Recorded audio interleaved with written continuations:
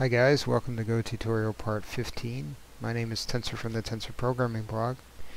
And today we are going to build a module to allow us to create pages for our wiki. And we are going to take a look at how we can create some middleware that will allow us to basically reuse some of our code so that we won't have as much of a verbose environment with these handlers. So one of the first things I want to do here is actually remove this import. This was actually bugging the hell out of me when I was watching the video. Let's remove that and I also want to put this up here. Generally when you organize your imports you want to organize the core library imports at the top and then the you know, third-party ones at the bottom. At least that's how I like to do it. So let's actually build our create function here. Um, create in this case is going to be a bit like sign up and a bit like how we had our upload where we have a switch statement that covers both get and post.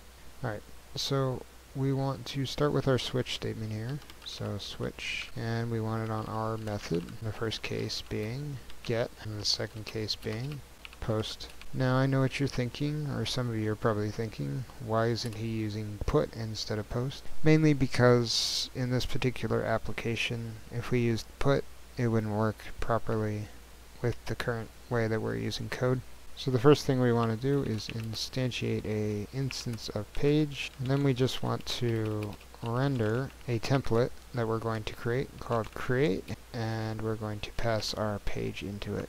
Alright, so that's pretty simple. For post, we are just going to also create an instance of page. So we're going to get our title first. Title is going to come from our R form value, and we're going to make a form value called title. We're also going to have a body variable which is going to come from our form value body. And then we are going to make a page. And then we are just going to call p.savecache on this. And that will input our page into our database as well as create a new file inside the cache folder. And we could do a little bit of error handling here so let's just do a quick little error here. So we'll just throw a status internal server error with our string. And then finally, we want to redirect. So we're going to redirect to our newly created page. I'm going to throw in a return statement here, even though we probably won't need it, just to make sure that we don't run into any errors. Another thing we want to do to make sure the title doesn't have any spaces in it, because that would be a problem. See somebody typed in two words, like, I don't know,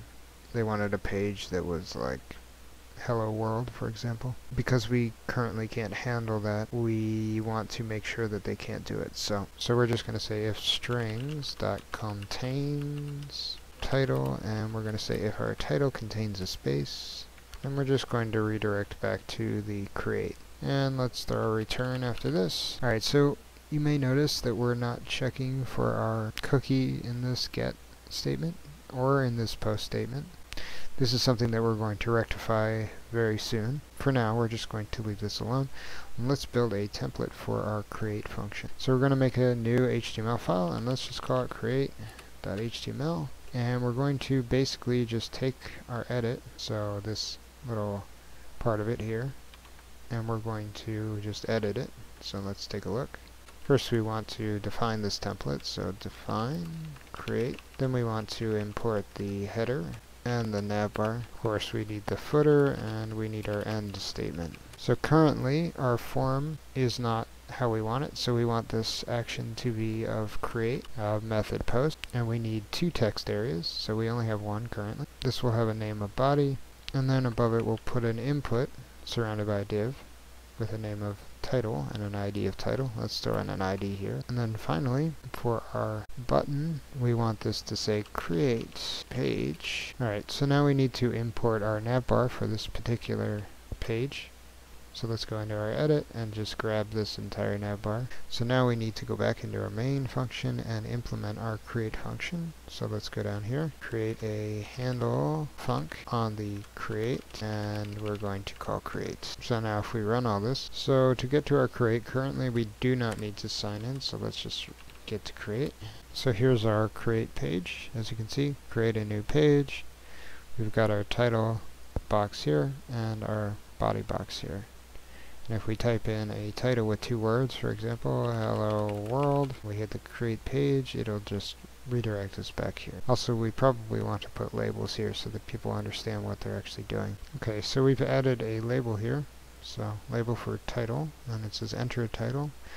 And then label for body, and it says enter a body. And if we refresh this, it should show up. So enter a title, enter a body. So now that we've created our create function, let's actually take a look at how we can actually reuse some of our codes and create a little piece of middleware that can help us organize our code. One of the things that we've been reusing multiple times throughout this, we've been checking to see if we have a user ID here. So we've been using our get user ID function and then checking to see if the user ID is empty or not. So we're going to create a piece of middleware here. It's called check checkUUID.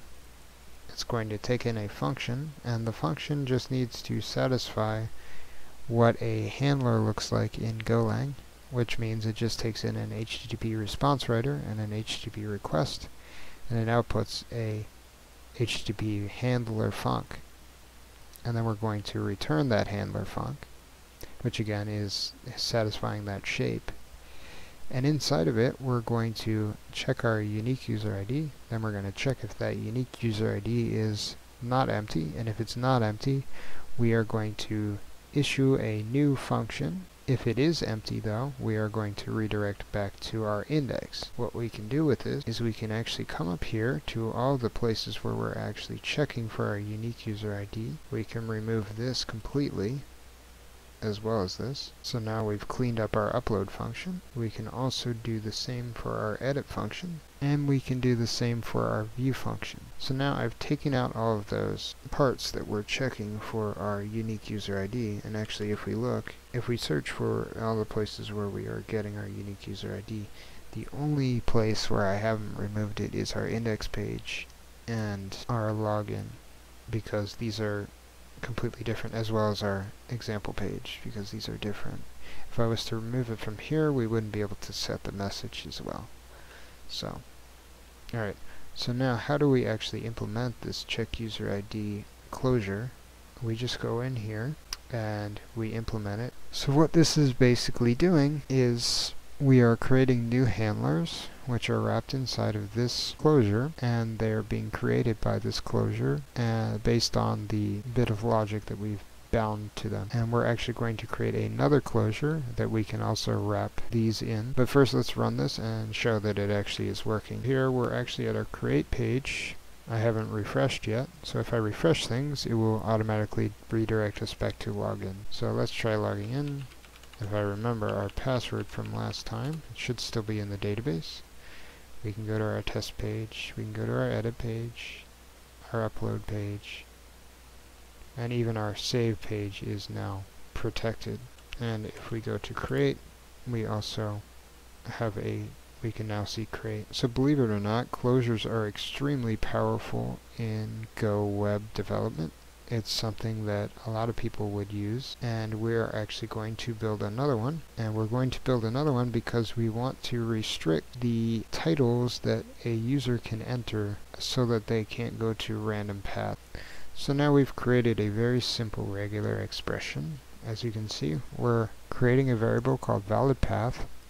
We're calling the regex library, which we just imported and I'm going to actually bring this up above. And we're calling a function called must compile, and this means that anything that is using this regular expression must follow this regular expression. And we're saying here that the first path can follow either a backslash with nothing in it, or it can be edit, save, test, or create. And then we're saying that the second part has to be one word, and it can be a combination of any lowercase letters, any uppercase letters, and any numbers between 0 and 9. So let's actually implement this now onto our other piece of middleware here. So this function is going to be called check path. So as you can see with our new closure, we input a handler that has HTTP response writer, an HTTP request, and a string, that's what it takes in as parameters. And then it outputs a handler that only takes in an HTTP response writer and an HTTP request. Now we can actually use this to get around the, the uh, interface pattern for a handler function. So, one of the cool things that we can use this for is we can actually go up to all of our functions that um, pull titles out of URL path and we can change them. So for example, if we come up to our save function here, as you can see our title is being inputted by our URL path. We can actually just completely remove this and make our title into a parameter. So while now this doesn't follow the pattern of a HTTP handler, it will if we apply our closure to it. We can do the same for edit and of course view. So now we have our title string here for view, our title string for edit, and our title string for save. Our upload doesn't need it because we don't have a substring for upload, though we could add one as well. And our create doesn't really need it, so we can actually remove this part of the regex because we're not parsing create currently. It's something that we will probably end up doing later though. So to actually implement this, as you can see now we're getting errors for view, edit, and save inside of the handle func. And that is because they do not have the appropriate amount of parameters being passed to them. So what we can do is we can actually call our check path closure right here. So we're actually applying both closures to these functions. And our first closure, check path, is creating a handler with two parameters. And then our second closure is then checking to see if we have our cookie. Alright, so now let's run this. So let's log in. And as you can see, everything is working as normal. And now if we go to say test and let's just throw in some random variables, it will again just throw an empty page back to us. But if we now go in here and say let's put an underscore in here, something that just doesn't match our regex, we get a 404 page not found. So now let's go back into create and let's create a new page. Let's enter a title, let's just call it view, and the body will be this is the view page. We are testing our create handler. And let's create the page. And there we go. So this is now created. We can edit it like we edit any other page. Save it and all that. Let's take a look at our database before we go. So here's our database with the pages and users. And as you can see, here is our pages, and we now have our view pages in here. And it has, this is the view page testing our create handler. Okay guys, so I hope you enjoyed this tutorial.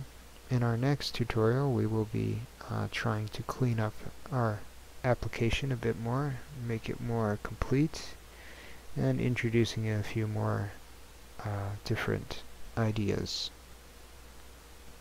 If you enjoyed this tutorial, feel free to like and subscribe. And if you have any questions, of course, feel free to comment.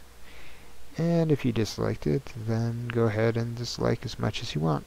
If you guys want some more information on when videos will be coming out, and on polls and things of that nature, feel free to go check out our Twitter, which will be in the description box below. Also, of course, as always, the source code for our projects will also be in that description box. Anyway, guys, I hope you have a good night.